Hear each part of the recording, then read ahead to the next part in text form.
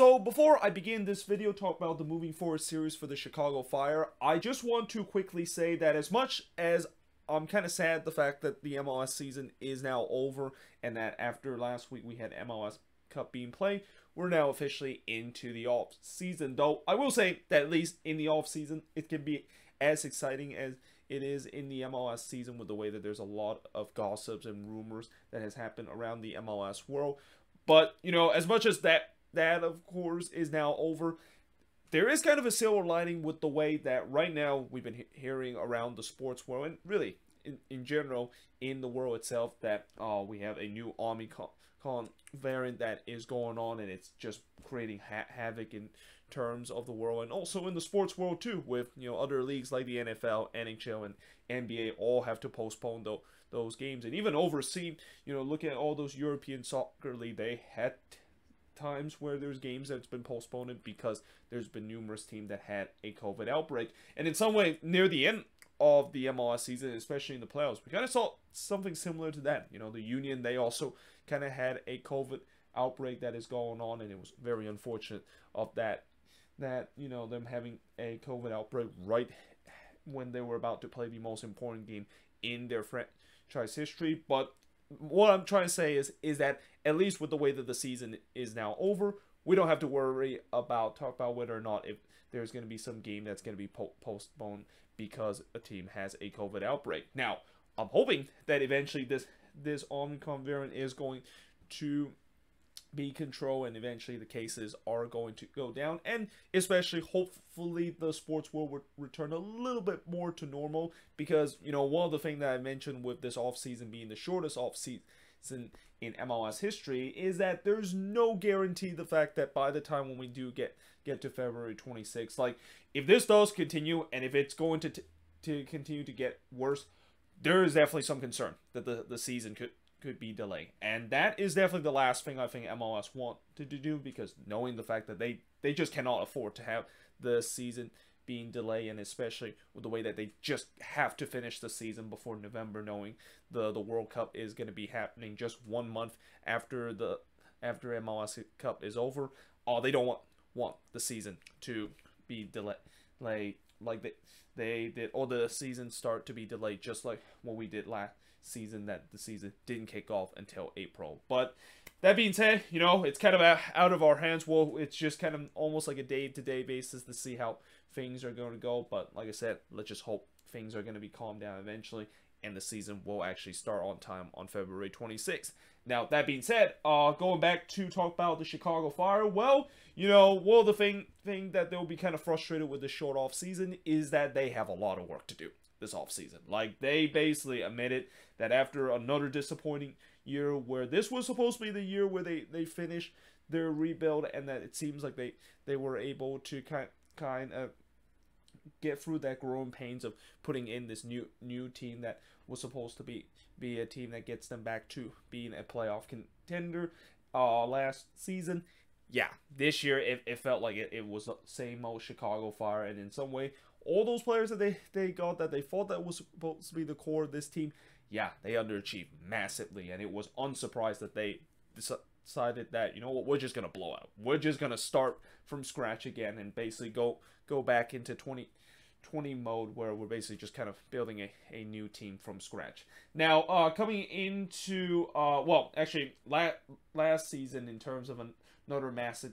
disappointing year for the Chicago Fire. They finished with a 9-7 and 18 record with 34 points. They scored 36 goals this season, which is the lowest in the Eastern Conference. I mean, I had to double check to see if that is correct, but indeed they did score the lowest in the Eastern Conference, which is just remarkable with the way that they have just so much attacking talent on this team, and yet they still score fewer goals than FC Cincinnati has had this year. Uh, they gave up 54 goals, which isn't not which is not really that bad, but considering the fact that when you can't score goals, it doesn't matter how how good your defensive record is is and in this case for the Chicago Fire, it's still kind of like right around around the average or maybe if you're being very cynical, you would say that their defense was kind of below average in terms terms of their defensive record. And their goal differential, of course, is minus 18 as they finished 12th in the Eastern Conference. Top goal scorer for this team, uh, Robert Berić actually ended up being the top goal scorer of this team, despite the fact that for pretty much the the majority of the the season, he was once again that like that snake bitten striker that he was in the fir- first half of last season and we came into the league. And unfortunately, you know, by the time he did finally gets going, it was too late. Like this team was already kind of out of the playoff picture, and in some way, the goals that he scored was just kind of, kind of almost like garbage garbage time goals, where you know by the, then the Fire really didn't have had much chances of making the playoffs. And you know, I guess the only good news is at least he did still finish as the top goal scorer. But for a guy that you know last season, the breakout year that he has, especially in the second half of the season, you would expect he should score more than the eight goals that he has. And then followed by Lukas Stojanovic, who you know he he was really the only the good attacking player to this team, and he, eventually he did unfortunately got bugged by the, the the injury or got bitten by the injury bug, and basically once he kind of got back from his injury, he was never the same. Like the, he basically didn't start a, a lot of game for the Fire and was kind of just stuck on the bench. And then you got you got guys like Aliseda who only scored four goals this season. It's another disappointing year for for Nacho Aliseda, a guy that, that they really rated. They thought that they that he was going to be that number ten that they thought it was. Uh, then you got Alvaro Medrán with three goals, and then Przemysław Frankowski, who's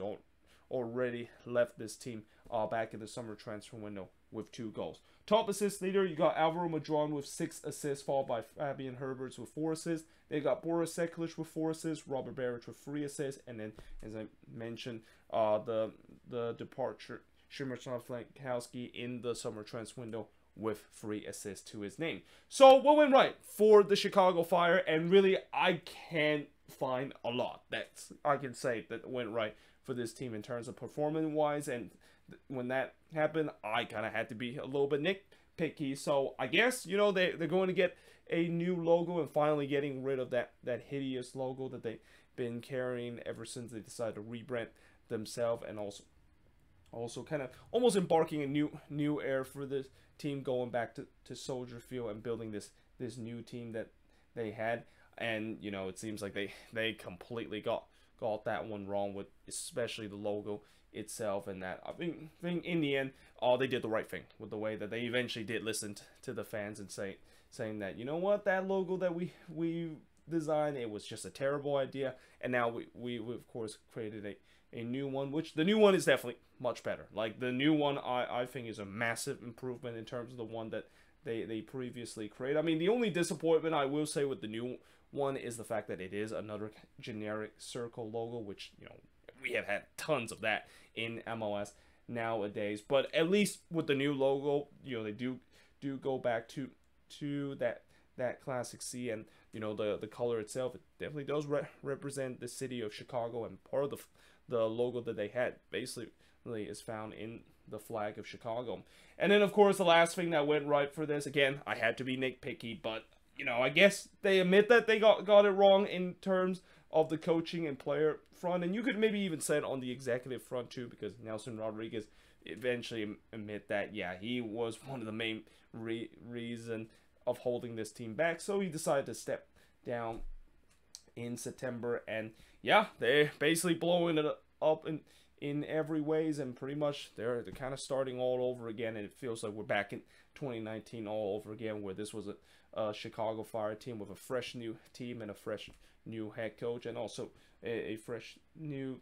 new uh, general manager to make the decision of this team to see how things are gonna go. So what went wrong with this team? Oh, a lot had had went wrong with this. I mean, first of all, the obvious thing that went went wrong is the inconsistency, which I think this year the inconsistency has gone even worse. Like in the past, I think the inconsistency for the Chicago Fire is really just the fact that you you, you just don't know what this team is gonna do in every, any given days. Like they could be sometime be be like an MLS Cup Cup contender with some of the performance they pulled, and there's time where they look like the worst team in the league. And this season, you know, it seems like that inconsistency once again was happened. But what's worse is the fact that they actually did have times where they were on losing streak, and that in some way, the other thing that I also will say that went wrong with this team go alongside with the inconsistency, and I actually didn't put it there on the what went wrong part, is the fact that they keep shooting themselves in the foot foot in some some of the most silly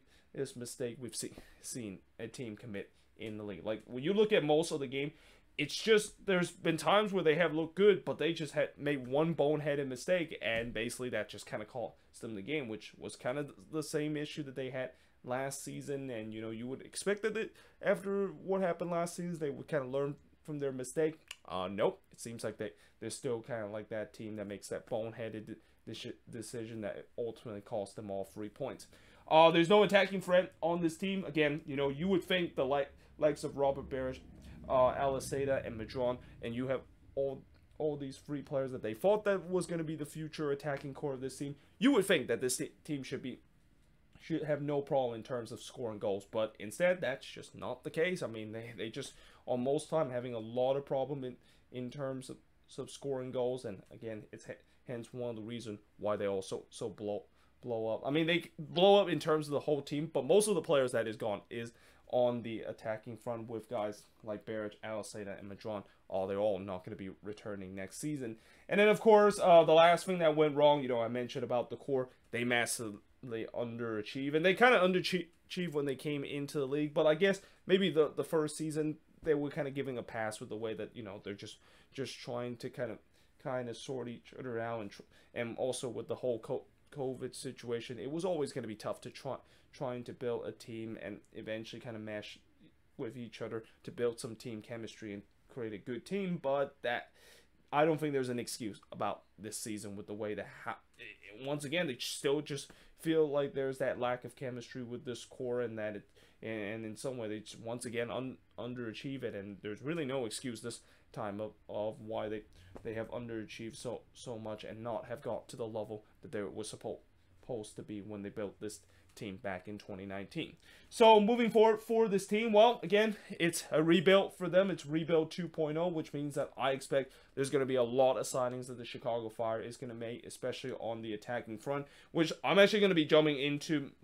the last part part of the moving forward for them is that how will this remake fire team would look like? Like when you know with all the these moves that they're going to be making this off season i'm going to be interested to see how the starting 11 is going to be because i guarantee you that that starting 11 on february 26th in their season opener is going to be the complete different starting 11 that we've seen seen with the Chicago Fire team. And you know, when you go for an off season with with so many changes like that, you know, sometimes it's necessary and I think in this case it was necessary with the way that I didn't think with with this current core that have massively underachieved in, in the first two seasons. It was, you know, it, you you need to have a lot of trust if they can maybe get it right the third time, and it's pretty clear that this fire front office didn't think that that is going to be the case. But at the same time, you know, the dangers of also making so many moves like them is what we saw in that Chicago Fire team in 2020, where you know it, they almost looked like an expansion team with just so many new players coming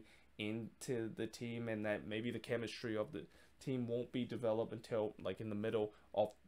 the season. So expect, you know, as much as I know Fire fans are excited about the new logo and also the way that they they're going to go go through another remake and hopefully this the third time is going to be fine. Well, I wouldn't say the third time. The second time is going to be happening because this is the second attempt of them trying to get themselves competitive ever since they of course got a new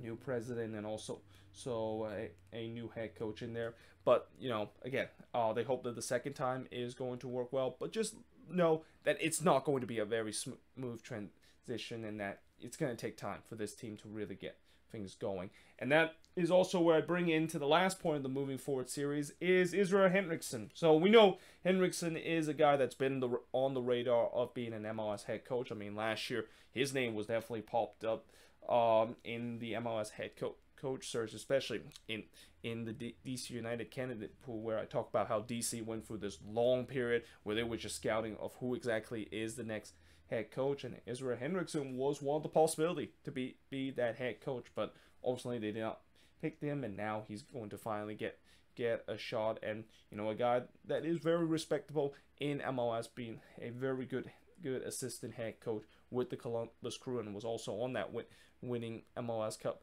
team in 2020. So yeah, they, they hope that the the Fire will get get a guy that has been been an MLS Cup winner, albeit in an assistant level, that can make the step to to be a head coach and do the same thing. Although that doesn't always work out because we've seen before where even though some assistant head coach have, done well in in their role with a successful team, when they do make the jump to go to to a less successful team, but now they are the head coach, that could be a, a challenging feat to do. So it's going to be interesting to see how Ezra Hendrickson is going to do, and I expect he's going to also feel some pressure too because you know the Chicago Fire fan base, which you know I think this fan base it has a lot of potential. I mean, I know a lot of people have talked about how how this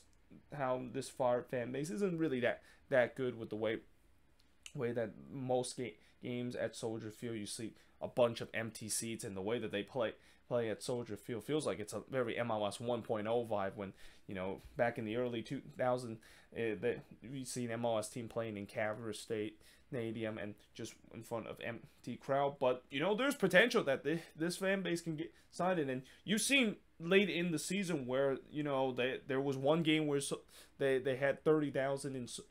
at, at Soldier Field, and albeit yes, that was kind of a fan appreciation day, and they they were kind of unviewing their their new logo, so there's a lot of excitement. But if if there's one way to maybe get this this fan base excited, and maybe we'll see in the future that Soldier Field is going to be a little bit more more pack is winning because winning definitely will bring bring the fans and you you know we we've seen before where when the most successful team in the league it's unsurprising that the, the that those are usually the stadium that it it is usually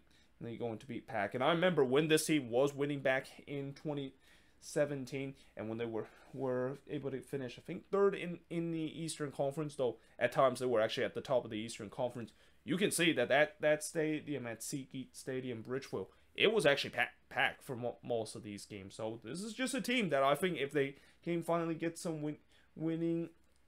eh, some belief, and finally get themselves back into the the playoffs, which this is also another team that has not been in the playoffs a lot. They missed the playoffs ten out of their last twelve season. Then yeah, I, I would expect this. Th- there's going to be more fans that's going to be attending this game, and we'll we'll see whether or not if Ezra Hendrickson is going to be finally the answer. But either way, hope you guys enjoyed this video. If you do, make sure you guys see a like, smash the subscribe button. Let me know in the comments below what do you think of this video, and if you're a Chicago Fire fan, what went right, what went wrong, and most importantly, moving forward, how is this team going to look now that they're once again going through another their rebuild and another transitional period. But until then, hope you guys enjoyed this video, and I will see you guys next time.